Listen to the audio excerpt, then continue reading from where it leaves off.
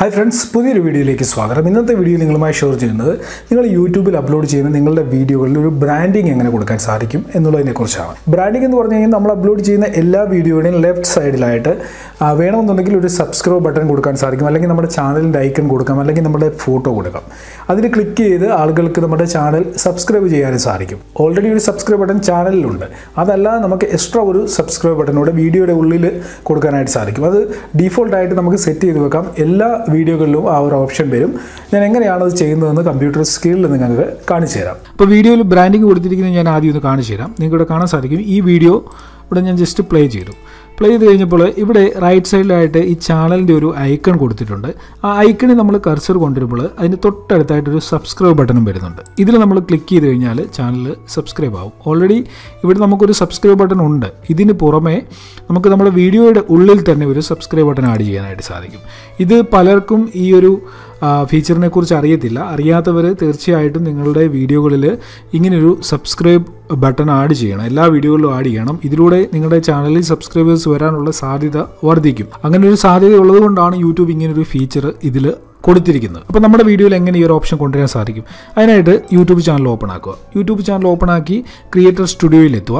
Creator സ്റ്റുഡിയോയിൽ left സൈഡിൽ settings എന്ന് പറയുന്ന ഒരു ഓപ്ഷൻ ഉണ്ട്. അതിൽ ക്ലിക്ക് ചെയ്യുക. സെറ്റിംഗ്സിൽ ക്ലിക്ക് ചെയ്തതിന് ശേഷം ഇവിടെ അഞ്ച് ഓപ്ഷനുകൾ നമുക്ക് ലഭിക്കും. ഇവിടെ നമ്മൾ രണ്ടാമത്തെ ഓപ്ഷൻ സെലക്ട് ചെയ്യണം. രണ്ടാമത്തെ ഓപ്ഷൻ സെലക്ട് ചെയ്യുമ്പോൾ റൈറ്റ് സൈഡിൽ നമുക്ക് ബ്രാൻഡിംഗ് എന്ന് പറയുന്ന ഒരു ഓപ്ഷൻ ലഭിക്കും. ഇതിൽ ക്ലിക്ക് ചെയ്യുക. ഇതിൽ ക്ലിക്ക് ചെയ്ത് കഴിയുമ്പോൾ ഇങ്ങനെയൊരു ഇന്റർഫേസ് ആയിരിക്കും നമുക്ക് ലഭിക്കുക. അതായത് ഇവിടെ പറഞ്ഞിരിക്കുന്നത് നമ്മളുടെ വീഡിയോയുടെ ഉള്ളിൽ ഒരു ബ്രാൻഡിങ് ഐക്കൺ നമുക്ക് കൊടുക്കാനായിട്ട് സാധിക്കും ഇവിടെ.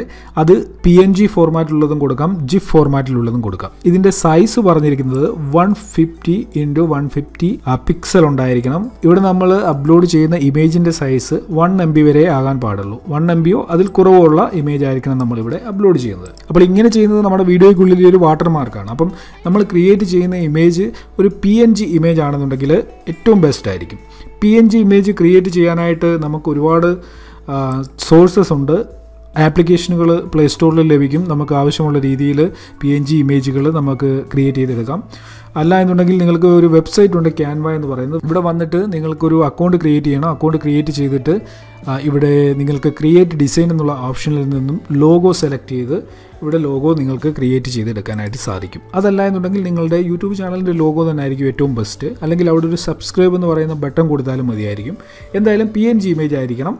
ഞാനിവിടെ ഫോട്ടോഷോപ്പിൽ അത് ക്രിയേറ്റ് ചെയ്ത് കാണിച്ചു തരാം നിങ്ങൾക്ക്. ഞാൻ ഓൾറെഡി ക്രിയേറ്റ് ചെയ്ത് വെച്ചിട്ടുണ്ട്. എന്നാലും ഒന്നുകൂടി കാണിച്ചു തരാം നിങ്ങൾക്ക്. അതിനായിട്ട് ഇവിടെ ഫയൽ എന്നുള്ള ഓപ്ഷന് ക്ലിക്ക് ചെയ്ത് ന്യൂ എന്നുള്ള പുതിയ ടാബിലേക്ക് പോവുക. ഇവിടെ നിന്ന് നമുക്ക് വിഡ്ത്തും ഹൈറ്റും വൺ ഫിഫ്റ്റി കൊടുക്കണം. രണ്ടും ഞാൻ വൺ ഫിഫ്റ്റി കൊടുത്തു. ഒപ്പം തന്നെ ശ്രദ്ധിക്കേണ്ട കാര്യം ഈ വിഡ്ത്തും ഹൈറ്റും പിക്സലിൽ തന്നെയാണോ എന്ന് നോക്കണം. ഇവിടെ പിക്സലാണ് കിടക്കുന്നത് ഞാൻ ഓക്കെ കൊടുത്തു. ഓക്കെ കൊടുത്തു കഴിയുമ്പോൾ ഇതേപോലെ ഒരു ടാബ് ഓപ്പൺ ആയി വന്നു. ഇനി നമ്മളിവിടെ ഒരു ഫോട്ടോ ഇതിലേക്ക് അപ്ലോഡ് ചെയ്യും. അതായത് ഞാൻ ഇവിടെ ഒരു ഫോട്ടോ കൊണ്ടുവച്ചിട്ടുണ്ട്. ഈ ഫോട്ടോ തന്നെ കോപ്പി ചെയ്ത് ഇതിൽ പേസ്റ്റ് ചെയ്തു. പേസ്റ്റ് ചെയ്തിട്ട് ഞാൻ ഇതിന്റെ സൈസ് കുറച്ച് ഈ ഇമേജ് അതായത് നമ്മൾ ക്രിയേറ്റ് ചെയ്ത ആ ബോക്സിനുള്ളിലേക്ക് കൊണ്ടുവരികയാണ്. ഓക്കെ ഇതിപ്പോൾ ഈ ബോക്സിനുള്ളിൽ വന്നു. അപ്പോൾ ഇതൊരു പി എൻ ജി ഇമേജായിട്ട് നമ്മൾ എടുത്തു കഴിഞ്ഞാലും ഈ റൗണ്ടിനുള്ളിൽ അതായത് എന്റെ ഈ ഫോട്ടോ ഒരു റൗണ്ട് ആയിട്ടാണ് ഇതിന്റെ ബാക്ക്ഗ്രൗണ്ട് വൈറ്റ് കളറിലിരിക്കും. അപ്പോൾ നമുക്കിത് പി എൻ ജി ആക്കണം. നമ്മളിവിടെ റൈറ്റ് സൈഡിൽ ഇവിടെ ലെയേഴ്സ് ഉണ്ട്. ഈ ലെയേഴ്സ് വന്നിട്ട് ഈ ബാക്ക്ഗ്രൗണ്ട് ലെയർ അങ്ങ് ഹൈഡ് ചെയ്യും. അപ്പോൾ ഇത് ഹൈഡ് ചെയ്ത് കഴിയുമ്പോൾ ഈ ഒരു ഇമേജ് നമുക്ക് പി എൻ ജി ആയിട്ട് സേവ് ചെയ്യാൻ സാധിക്കും. വീണ്ടും ഫയലിൽ പോവുക സേവാസിൽ പോവുക. ഇവിടെ നമുക്ക് ഫോട്ടോഷോപ്പ് എന്നുള്ള ഒരു ഓപ്ഷൻ ഉണ്ട്. ഇവിടെ നിന്നും P N G image select ചെയ്യുക. ഞാനിത് ഡെസ്ക്ടോപ്പിലേക്ക് സേവ് ചെയ്തു. അതിനുശേഷം വീണ്ടും നമ്മളുടെ യൂട്യൂബ് ചാനലിലെത്തി ചൂസ് ഇമേജ് എന്നുള്ളതിൽ ക്ലിക്ക് ചെയ്തു. സേവ് ചെയ്ത ഇമേജ് ഉണ്ട്. ഞാനിതിൽ ഇതിൽ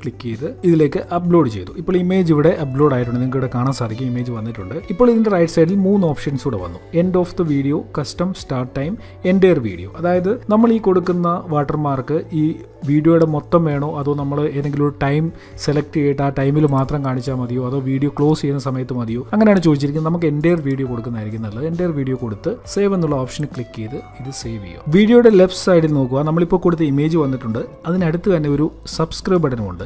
ഈ സബ്സ്ക്രൈബ് ബട്ടണിൽ ക്ലിക്ക് ചെയ്ത് ചാനൽ സബ്സ്ക്രൈബ് ചെയ്യുക. അപ്പോൾ നിങ്ങൾക്ക് മനസ്സിലായി കാണുമല്ലോ എല്ലാ വീഡിയോകളിലും എങ്ങനെയാണ് സബ്സ്ക്രൈബ് ബട്ടണോ നമ്മളുടെ ചാനലിന്റെ ഐക്കണോ നമ്മളുടെ ഫോട്ടോയോ നമ്മളുടെ പേരോ ഒക്കെ ആഡ് ചെയ്യുന്നതെന്ന്. അപ്പോൾ ഇത് നിങ്ങൾ ഒരു പ്രാവശ്യം സെറ്റ് ചെയ്ത് കഴിഞ്ഞാൽ വീണ്ടും എല്ലാ വീഡിയോകളിലും നിങ്ങൾക്ക് ഇത് ആഡ് ചെയ്ത് കൊടുക്കേണ്ട കാര്യമില്ല. ഇത് ഡിഫോൾട്ട് ആയിട്ട് ഇരുന്നോളും എല്ലാ വീഡിയോകളിലും ഇത് ഓട്ടോമാറ്റിക്കായിട്ട് വന്നോളും. അപ്പോൾ നിങ്ങൾ എല്ലാവരും നിങ്ങളുടെ യൂട്യൂബ് ചാനലിൽ ഈ ഒരു ഓപ്ഷൻ നിങ്ങൾ ചെയ്തിട്ടില്ല എന്നുണ്ടെങ്കിൽ ഇപ്പോൾ തന്നെ ഇത് സെറ്റ് ചെയ്ത് വെക്കുക.